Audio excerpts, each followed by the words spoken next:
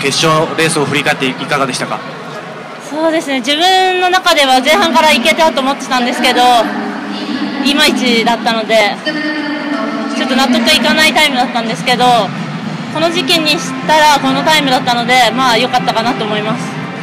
まあ、寺川さんのレース、そして加藤さんのレース、まあ、レース前にこう刺激になった部分もあったと思うんですけど、そのあたりはいかがでした？そ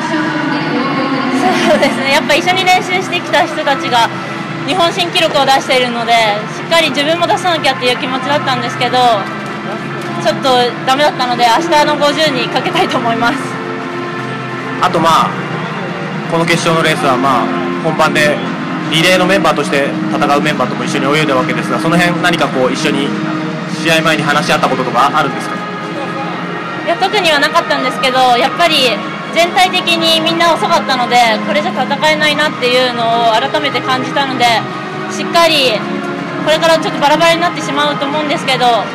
最後の合宿の時には引き継ぎ練習とかもたくさんしてやっぱ全員が53秒台で引き継いだりしたらメダルも狙えると思うのでしっかり狙っていきたいと思います。えー、まあこのメンバーの中では、まあ、女子の自由形を引っ張っていく存在だと思うんですけど改めてオリンピック本番に向けた抱負というのをお願いします。やっぱ個人の目標だとやっぱ第一泳者で53秒真ん中まで持っていけばチームもいけるんじゃないかという雰囲気になると思うのでしっかり自分はレースをするだけだと思います。テレビ代表以上になります。ありがとうございました。ありがとうございました